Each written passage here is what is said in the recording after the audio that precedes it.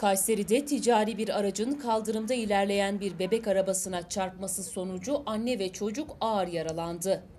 İstikamet halindeki 35 Denizli Ordu Jandarma 21 plakalı ticari bir aracın yaya halinde anne ve kullandığı bebek arabasına çarpması sonucu anne ve çocuğu yaralandı.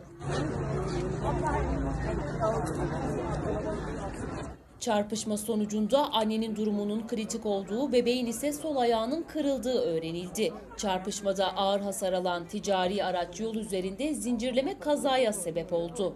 Anne ile çocuğun kimlik bilgilerine henüz ulaşılamadı.